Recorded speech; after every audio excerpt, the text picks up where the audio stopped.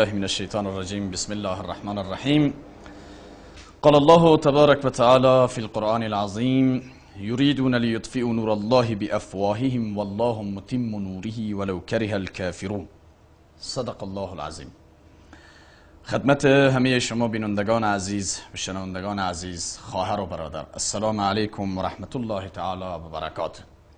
امیدواریم در هر جایی که هستید سرفراز و سربلند و موفق و کامیاب باشید. و الله تبارک و تعالی در تمام عرصه های زندگی شما را موفق و سرفراز و سربلند داشته باشد. بازم شما را خوش آمدید میگیم در یکی از برنامه های جدیدی دیگر ما تحت عنوان جنجالی که از دیروز تا امروز در صفحات مجازی در رسانه ها شروع شده. و هشدار جناب آقای ترامپ برای کشور عزیز ما به ملت افغانستان. برادران عزیزم خواهران عزیزم اینها امروز نیست. با این قضیه معیوس نباشید غمگین نباشید.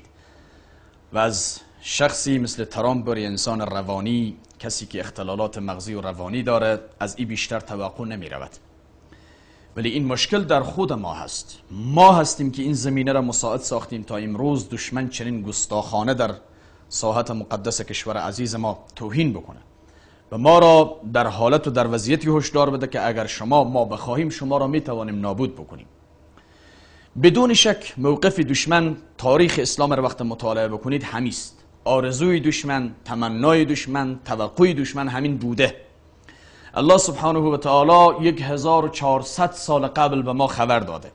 به ما بیان کرده. هشدار داده که ای امت اسلام اگر حفظ وحدتتان نباشد انسجام نداشته باشید یک وحدت در سطح امت نداشته باشید متفرق باشید روزی از روزهای دشمن بر اقدام اقدام می‌کند بر نابودیتان.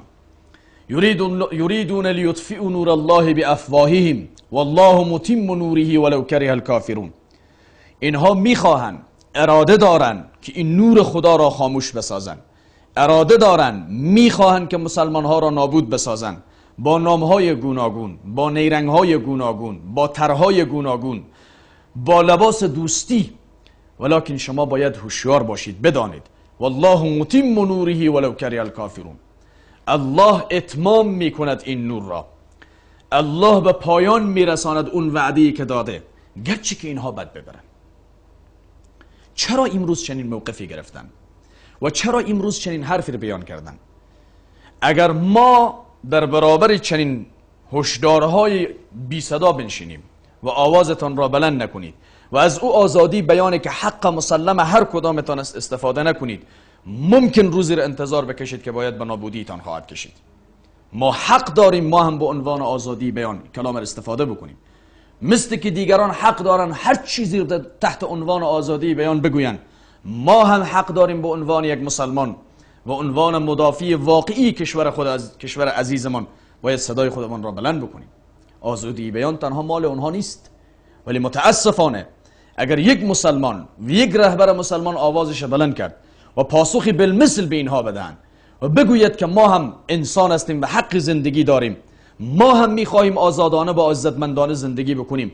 باز می‌بینید که از اون طرف سر و صدا شروع میشه و بهانه ها و نیرنگ ها جور میشه و تاپه ها بر پیشانی مسلمان ها و رهبران مسلمان ها زده میشه و برنامه های مختلف و به طرحهای گوناگون اقدام میشه بر نابودی مسلمان ها بنابراین برادران عزیزم خواهران عزیزم علل و اسبابی که امروز دشمن اینقدر جرأت پیدا کرده که تا حتی بر نابودی یک ملت هشدار بده علل, علل و اسباب این چیست ممکن یکی ناآگاهی جناب آقای ترامپ از وضعیت کشور ما باشه ما در تاریخ ثابت ساختیم خیلی قوی تر از شما قدرتمندتر از شماها را بینیشان را به خاک و خون مالیدیم اگر آگاهی نداری برو از انگلستان پرسان بکن. برو از روزها سوال بکن که برخورد افغان ها از غیرت افغان ها از شجاعت افغان ها در برابر اونها باید به شما قصه بکنن و بگوین.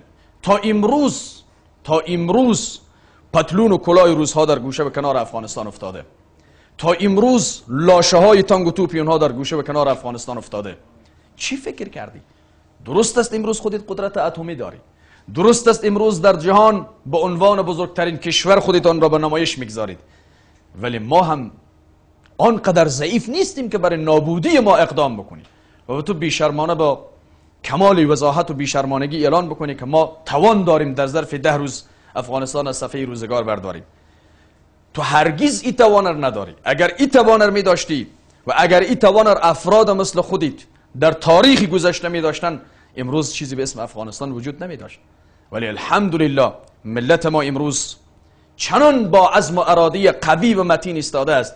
نه تنها در برابر شما بلکه امروز حتی وضعیتتان را به جای رسانده که راه فرار میپالید که از کدام طریق بهانه جور بکنی از کشور بیرون بشوی. برو از سروازانت که روانی شدن در افغانستان. با تکلیف های روانی گوناگون دچار شدن. از اونها پرسان بکن که در افغانستان چی دیدن؟ از این ملت چی فهمیدن؟ بنابراین برادران عزیزم خواهران عزیزم تا زمانی که ما متحد نشویم متفق نشویم و یک امت واحدی که الله ما را توصیف کرده در کنار یکدیگر قرار نداشته باشیم دشمن همیشه چنین تعرضات در حق ما می داشته باشه.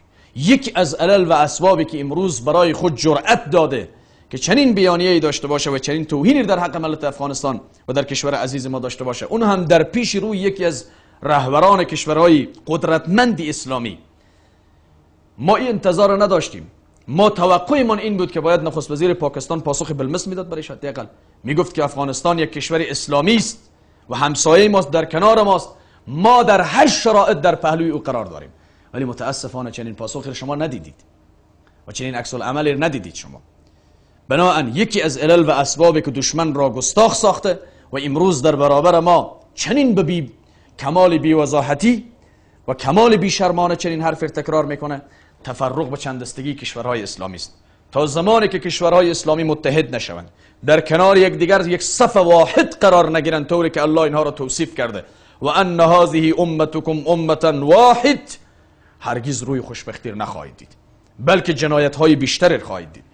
امروز از تفرق ما از جدایی ما از چندستگی ما سوی استفاده کردن و شما می‌بینید جنایت هایی که اینها امروز در کشورهای اسلامی انجام میدن.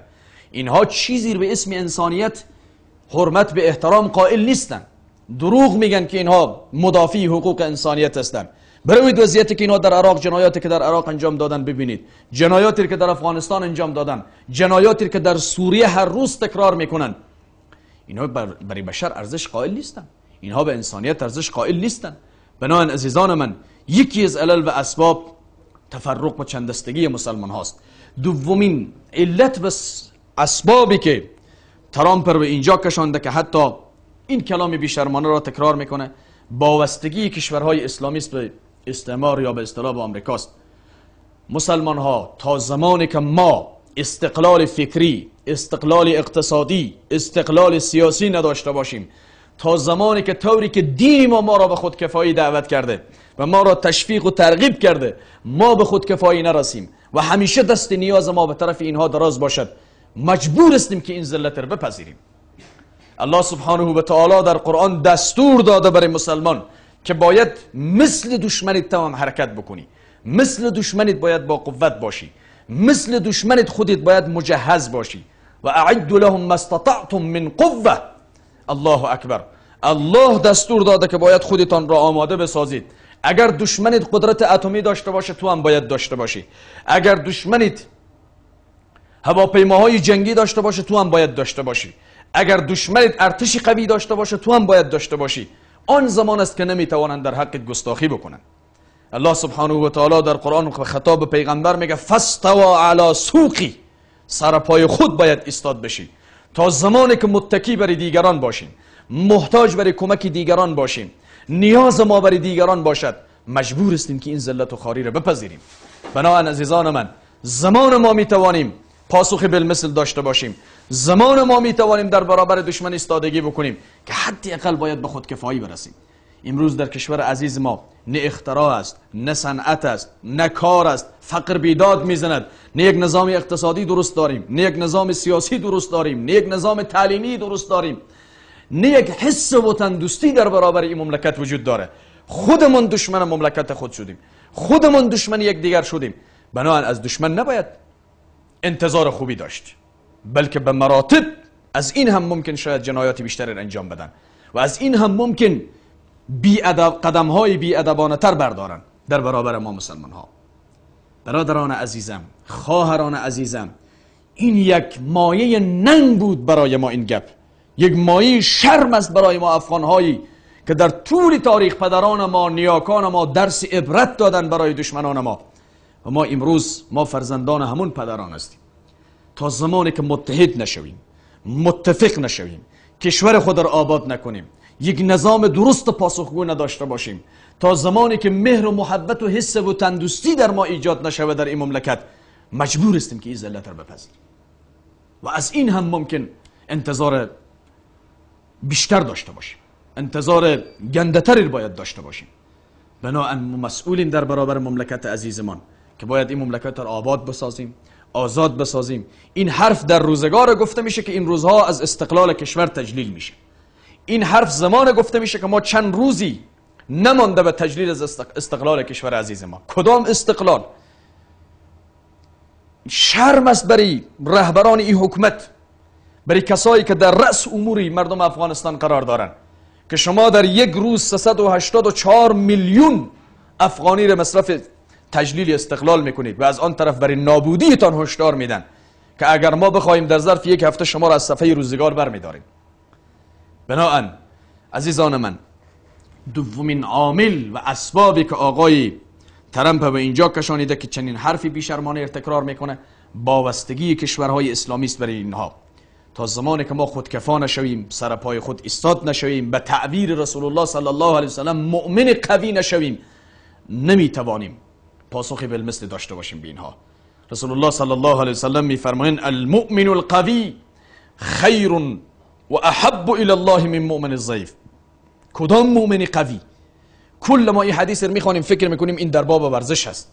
مؤمن قوی یعنی فکر قوی اندیشه قوی اقتصاد قوی سیاست قوی کشور قوی.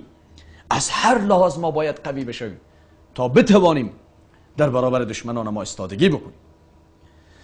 و همچنین نکته سوم و علت سومی که این آقا این حرف زد. ضعف ایمان است.